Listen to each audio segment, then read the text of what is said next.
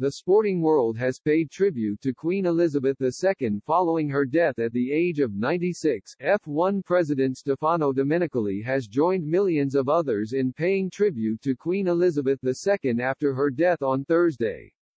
The UK is in a period of national mourning after the country's longest-serving monarch passed away at the age of 96. Tributes have flooded social media following the news with English clubs in Europa also paying their respects on Thursday evening. West Ham, Arsenal and Manchester United all observed a minute's silence for Her Majesty with sport up and down the nation set to be postponed this weekend. Her death has also seen tributes from all over the world with the US Open and NFL also to hold a moment of silence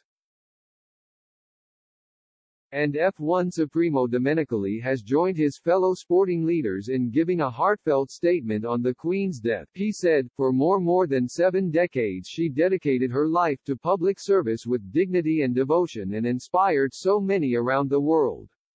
Formula One sends its deepest condolences to the royal family and to the people of the United Kingdom and the Commonwealth. His comments were echoed by FIA President Mohammed bin Sulayem, who stated F1 has its heart in the United Kingdom.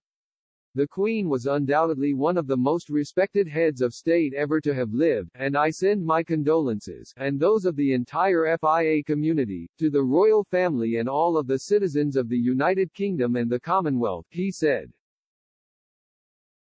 Motorsport, and especially Formula One, has its heart in the United Kingdom, and the royal family has over the years given great support and patronage to the sport. For this we thank them, and those events taking place around the world this weekend will undoubtedly be undertaken in honor of Her Majesty. British driver George Russell also took to social media to pay his respects for Queen Elizabeth II. I'm so sad to hear about the passing of Her Majesty Queen Elizabeth II. He wrote, her devotion to our country and her gracious leadership were inspirational to so many generation of people in the UK and around the world. My family and I send our deepest condolences to the royal family and to all those who admired her service to our country for seven decades. Rest in peace.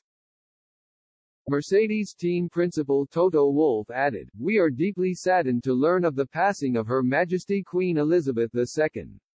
We send our heartfelt condolences to the royal family and the people of the UK and the Commonwealth. Williams driver Alex Albon said, an amazing role model and total dedication to a lifetime of public service. Thank you and rest in peace, Her Majesty the Queen.